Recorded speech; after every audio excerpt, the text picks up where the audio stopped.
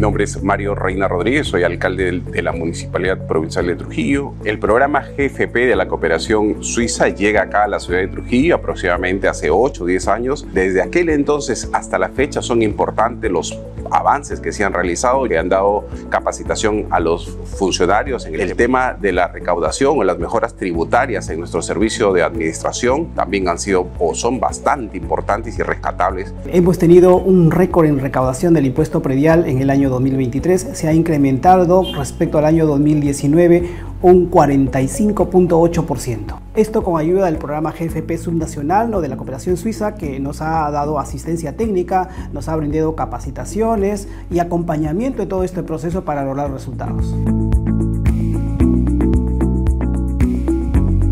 En cuanto al tema de las mejoras en el tema de recaudación municipal, la cooperación ha sido bastante abierta en cooperar, en ayudarnos, en darnos una mano, no solamente porque hemos logrado optimizar o mejorar nuestros sistemas informáticos, sino también porque nos están apoyando a generar nuevas bases de datos que permitan vincularnos como los ciudadanos para el tema del registro de la casilla electrónica o obtener sus mensajes, eh, la información vía los mensajes del chatbot o a futuro lo que será ya empezar a automatizar todas las emisiones de los eh, documentos que emite el SAT para, obviamente, imputarle al administrado el tema de sus tributos municipales. Esta recaudación es muy importante para la ciudad de Trujillo, ¿no? especialmente para la Municipalidad Provincial de Trujillo, porque permite pues, que la municipalidad pueda ¿no? cumplir con los compromisos que tiene con los ciudadanos de Trujillo con los ciudadanos en que esto se debe traducir en obras y también un fortalecimiento para nuestro servicio de administración tributaria en lo que es tecnología.